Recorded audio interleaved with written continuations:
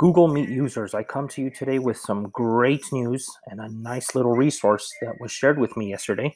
Um, I know for a lot of us that have been using Google Meet, our biggest complaint is that we cannot see everybody on our screen at the same time. That is no longer going to be an issue. Um, so here's how we are going to handle this situation today. We're going to open up a new tab. Uh, we're going to open up a Google search engine here, and I am going to type in Chrome Web Store. That is going to take us to the Chrome Web Store so that we are able to add extensions to our Chrome browser.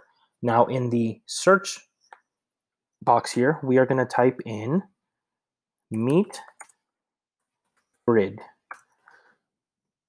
The first choice that we're uh, met with here is Google Meet Grid View. That is the one we want. We are going to go ahead and add it to Chrome. we're going to confirm it by adding the extension here.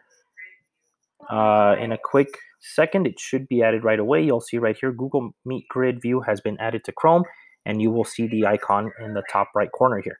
So now that's it. We're done. We can get out of the Chrome Web Store here. We are going to go ahead and open up our Google Meet, which is right here.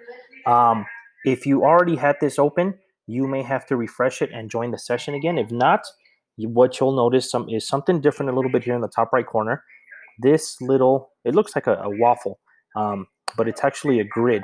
And you'll notice right now it's crossed out, which means I am not using the grid view.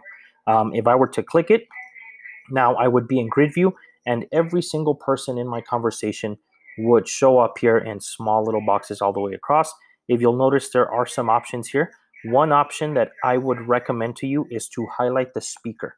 Um, this grid view will not uh, switch over to the person speaking. Uh, let me remind you here, if we go to our layouts and we select our auto or our sidebar or our spotlight, any of these three are going to put up the video of the person who is talking at that time in the bigger view.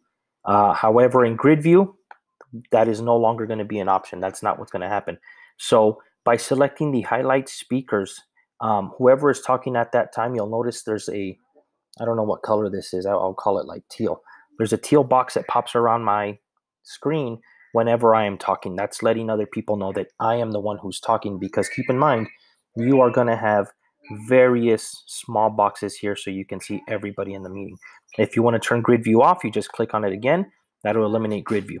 Um, you can explore some of these other options here to see if they work for you. Um, but I hope this is helpful. I know for me, this is something I'm going to start using a lot more now. Um, if you need any help with this or you have any questions, please don't hesitate to reach out. Have a great day.